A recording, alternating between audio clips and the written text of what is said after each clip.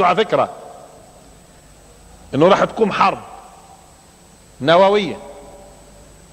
تبيد في البداية ثلث العالم. بعدين بينزل المسيح فينقذ البشرية من الاندثار. ويقتل كل من هو غير مسيحي. لاحظ اعتقادهم الآن. إذا اعتقادهم حتى ينزل المسيح لابد من أمور. الأمر الأول قيام إسرائيل وبناء الهيكل. خليني أوقف هون. قيام إسرائيل وبناء الهيكل.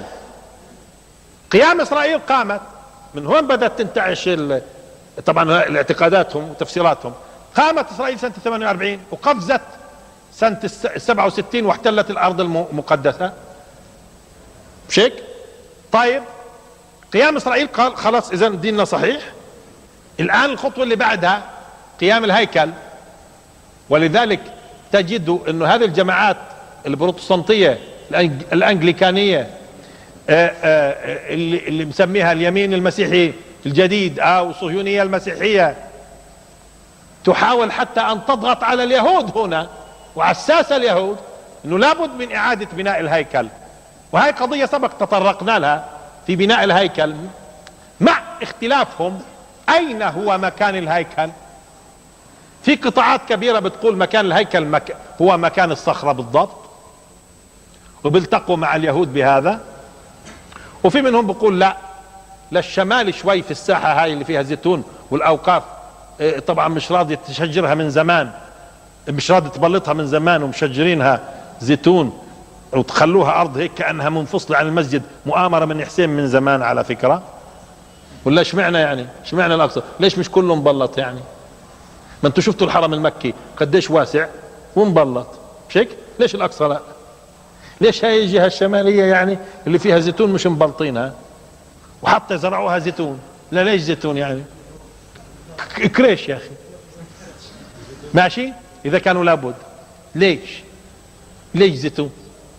وهيك مشان يشعروا الناس إنه إشي غير عن المسجد. آه لأنه برضه في بعضهم بقول آه لا الشمال في الساحة هاي اللي الشمالية من ال... وبعضهم بقول لا الهيكل كان هذول المسيحية الأنجليكان الهيكل كان في في في في في مكان اللي هو اليوم فيه الشارع بسموه جورج الخامس. شارع جورج الخامس في القدس. آه هذا هو قال الهيكل كان هناك. إذا كان.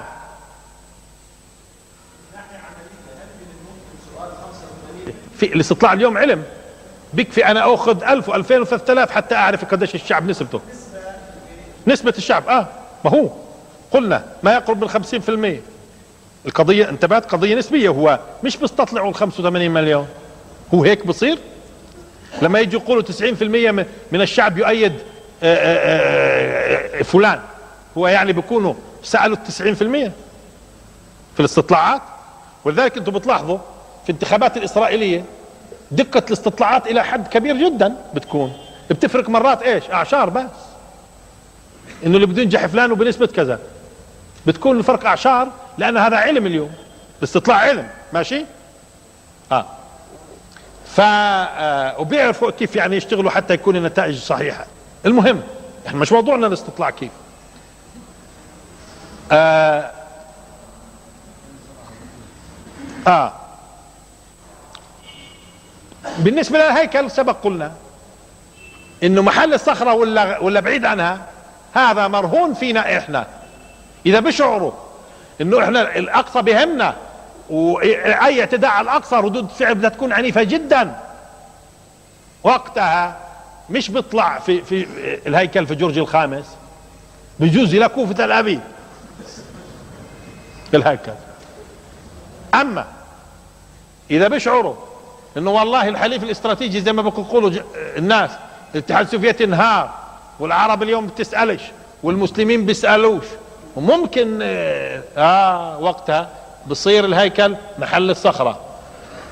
لأنهم اليوم على فكرة هم اليهود لما بيجوا بتطلعوا على صورة القدس صورة القدس وسبق لفتنا الانتباه لهذه القضية. بتلاحظوا أبرز شيء بيلفت انتباه أي شخص بيطلع على صورة إيش؟ الصخرة وأي إنسان يرى صورة للقدس بدون الصخرة بيعرفها. وتيجي تقول له القدس أجنبي مش أجنبي عربي يهودي مسيحي. تجيب له صوت القدس تقول له هاي القدس. وفيهاش الصخرة حاضرة هيك ها؟ يقول لك ابدا. ولذلك اليهود بقول لك ولمتى هاي تظل تعلن تعلن سيادة المسلمين. هذه الصخرة دائما تعلن سيادة المسلمين. من وين ما تطلع انسى الصورة. من وين ما بتنظر للقدس ها؟ لما بتطلع بتعرف القدس كلها من إيش؟ من الصخرة. والإشي اللي بيواجهك هيك بيقول لك أنا هي. طب شو يعني؟ الوجود الإسلامي والحضور الإسلامي. هذا برضه له أبعاد سياسية. فهم لما بيقولوا الهيكل والصخرة مكان الصخرة هذا الحقيقة هو في حربهم إلنا وقديش بيشوفوا فينا روح. إذا شافونا من موت بيبدوا يقربوا على الأقصى أكثر وأكثر. شعروا إنه فينا حياة بيبعدوا. والصراع صراع على سيادة في هذه المنطقة.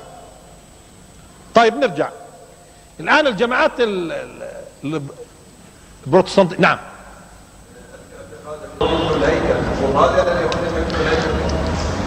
بيسأل سؤال انه وضع بلاط وضع بلاط وتبليط الأقصى بردع اليهود؟ نعم.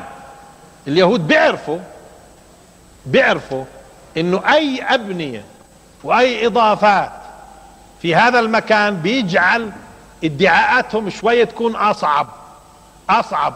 أما لما بكرة يجي يقولوا الناس والعالم يا جماعة هاي المنطقة محروثة وهاي المنطقة تراب وما هيش الأقصى هاي واضح غير لما تكون فيها المصاطب وتكون فيها ويكون فيها ويكون فيها مش؟ آه طبعا هم بيخططوا لإيش؟ ولذلك ليش أنت لما إجيت صرت فتحت المرواني وبديت تبلط المرواني وبديت كذا صاروا يتحركوا ويقولوا الله ويعملوا لك دوشه ليش؟ كان بإمكانهم ببساطة خليه بعدين إحنا منهد. لا بدهم مش لأنه المسألة قدرتهم ما هو مرات يعني وجودك أقول لك زي المستعمرات. يعني هو بالكم لو لو هذا الجبل اللي إحنا على رأسه الآن هذا الجبل مش هذا جبل هذا؟ لو كان مش مبني فيه لو كان مش مبني فيه دور وما فيش فيه مدينة وفيش فيه هذا المسجد. مش كان من زمان حطوا فيه مستعمرة؟ في عمارات جديده صارت لا. يعني بناء المستوطنات زي ما بينهم منظمه التحرير مستوطنات مستوطنات مستوطنات مسجونين مسجونين مسجونين قضيتنا مع اسرائيل قضيه سجناء ومستوطنات طيب. لا مش قضية مستوطنات ولكن ولكن الخطير وين؟ آه. ولكن افهموا علي يا حج اللي بيقولوا هذا الكلام هذول ناس أنا بقول يا أغبياء يا مشبوهين برضو. اللي بيقعدوا يقولوا هي قضيتنا بس المستوطنات الله أكبر الناس قاعدة تحكي في المستوطنات قول آه مستوطنات ولازم تزول. مش تقعد مش نقعد نقول هي قضيتنا المستوطنات. هي؟ ولا شو قضيتنا؟ ما هو أصلا استيطان إسرائيل في فلسطين هي هي أساس المشكلة. مش أساس المشكلة استيطان اليهود في فلسطين؟ ولا لا ولا نيجي نقول لهم استطنوا كل البلد؟ بدون مقاومة بدون مقاومة أقول لك احتلوا اليهود. بكرة استوطنوا 95 من في المية من فلسطين. نيجي نقول يا أخي أكلكم خذوا هاي الخمسة كمان بالمرة. هذا كلام لا. الأصل إنك تقاوم كل كل وسائل المقاومة شتى وسائل ولازم توقف أنت في في كل ثغرة. مش اذا هدم حصن. وإذا احتلوا حصن تروح متراجع أنت عن كل الحصون. لا والله ما أحسنها. لكان نسلم العالم العربي كله كمان ونسلم العالم الإسلامي كمان. ما هو أصلا لولا وجودنا إحنا هون وإحنا عزل كمان وثبتنا كان قضيتنا ماتت من زمان كمان.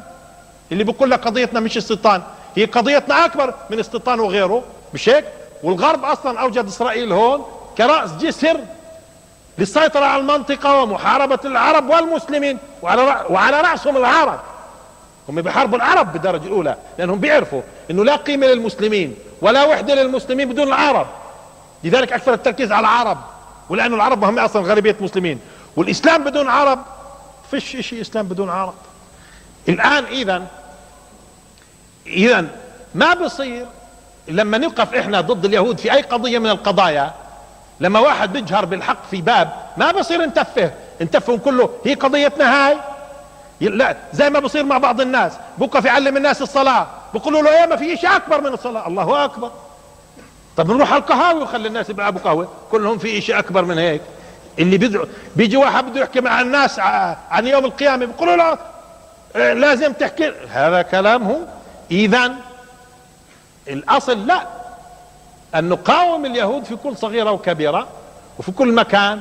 وبديش إياكم تنسوا الآن.